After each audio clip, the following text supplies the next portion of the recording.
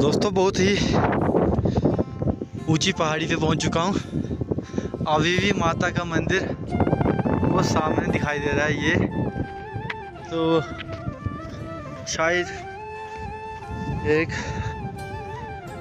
आधा घंटा लग जाए लेकिन यहाँ पे कुछ देखने को मिल रहा है कि यहाँ पे कुछ कब्रस्तान है पता नहीं ये कौन लोग हैं जो यहाँ पे दफनाए गए हैं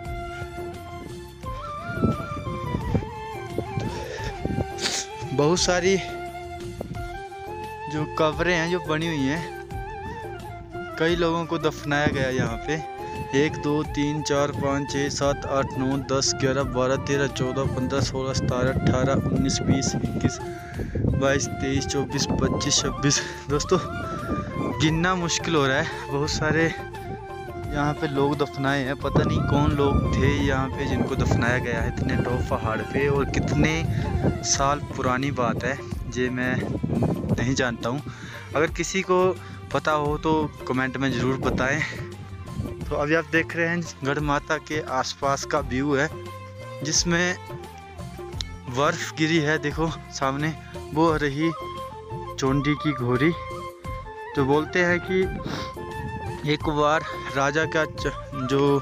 चंबा का राजा था उनको किसी राजा ने कैद कर लिया था तो रात को राजा के स्वप्न में माता आई और माता ने राजा को बोला कि मेरा भवन गढ़ में बनाना तो राजा ने कहा कि मैं तो माता कैद में हूँ मैं तो आपका मंदिर कैसा कैसे बना सकता हूँ तो माता ने कहा कि तू जैसे ही यहाँ से रिहा होगा तो मेरा मंत्र बना देना जब राजा सुबह उठा तो उसने देखा कि उसके जो तहखाना था उसका दरवाज़ा खुला था और जो पहरेदार थे वो सारे सोए हुए थे और राजा तहखाने से निकलते ही सीधा गढ़ आ गया और गढ़ में आके माता के मंदिर का निर्माण शुरू कर दिया और उसके बाद ये माता यहाँ पे प्रसिद्ध हुई माता ने यहाँ पे पत्थर फाड़ के जो आसमानी बिजली होती है वो गिरी और वहाँ उसमें से ज्वाला निकल कर माता ने उस राजा को दर्शन दिए और उसका नाम पड़ा चोंडी की घोरी आप देख सकते हैं जो है चोंडी घोरी